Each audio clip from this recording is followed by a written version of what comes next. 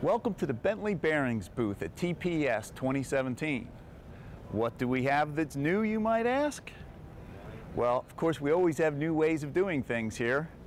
These are our balance bearings. By replacing common crown rollers with our air bearings, we eliminate errors in the axis of rotation and even average the runout error of the rotor itself.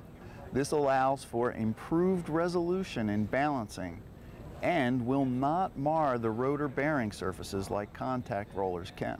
What else is new? Come have a look to the future of valve technology.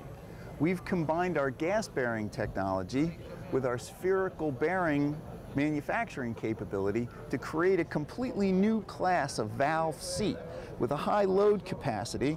And here you can see it's actually sealing vacuum.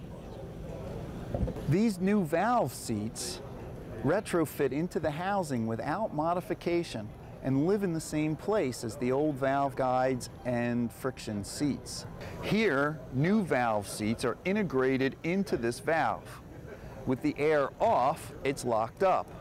We turn the air on and it spins freely. Here you can see the feeds for the pressure into the stem and into the seats.